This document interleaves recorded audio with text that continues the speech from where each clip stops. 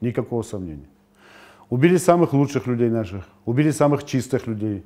Это люди, когда я сказал про Ибрагима, и сейчас скажу про, про Расула, что самые чистые, это те, вот, о которых говорят сыны своей Родины, сыны своего Отечества. Это они. Эти люди, которые были, обладали не только знаниями большими, эти люди обладали благим нравом. Это истинно верующие были. Это люди были те, которые призывали. Это люди те, которые призывали к добру, к благому.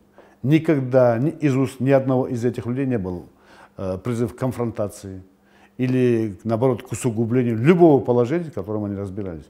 Везде присутствовал здравый смысл, присутствовало желание умиротворить и успокоить. Я сегодня буквально уже услышал, вчера читал, сегодня услышал, что э, его убили радикалы, отомстили. Какие радикалы? У нас в Осетии нету ни радикалов, ни экстремистов.